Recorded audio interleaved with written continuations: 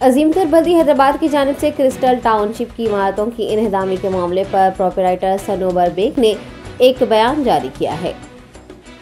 Town planning के अहदेदारों ने layout के बगैर इमारतें तामीर करने पर कई इमारतों पर पुलिस और जीएचएमसी अहदेदारों की मौजूदगी में अप्रैल के आगाज़ पर बुलडोजर चला दिया था। सनोबर बेग ने एक प्रेस कॉन्फ्रेंस को मुखातिब करते हुए कहा कि उन पर लगाए जाने वाले इल्ज़ाम तो बेबुनियाद हैं। उन्होंने सिर्फ़ प्लॉट्स फरोख्त किए थे ताहम लोगों ने पाँच से छः मंजिला इमारतें तामीर करवा ली जो कि बल्दी कानून के खिलाफ हैं और इसीलिए जीएचएमसी की जानब से उनके खिलाफ कार्रवाई की गई है। उन्होंने इस खसूस में दीगर तफसीत से भी वाकिफ करवाया।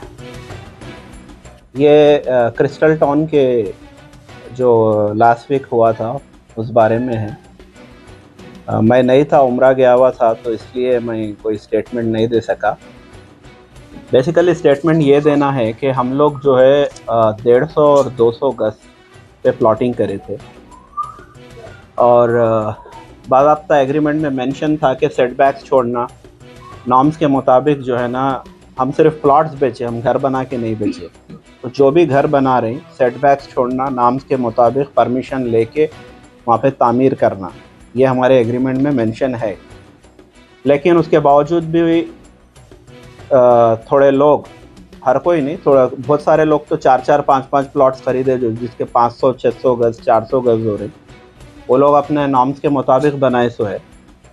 लेकिन बहुत सारे लोग क्या है 200 गज़ लेके अगर पाँच पाँच फ्लोर अगर बिल्डिंग बना दे रहे हैं छः छः फ्लोर मार ले रहे हैं तो शहर में चाहे कहीं, कोई भी इलाका हो तो जीएचएमसी तो रिएक्ट करेंगी।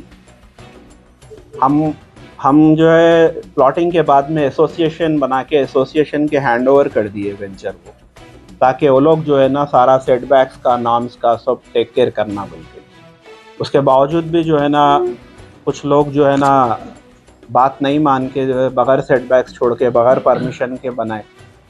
तो उनके ऊपर जीएचएमसी एक्शन ली। इसका मतलब ये नहीं है कि प्राइड इंडिया प्राइड इंडिया की वजह से टूटा हो। प्राइड इंडिया सिर्फ़ प्लॉट्स बेची। बाबा लेआउट जो है ना नाम्स के मुताबिक 60, 80 फीट 40 फीट रोड्स है।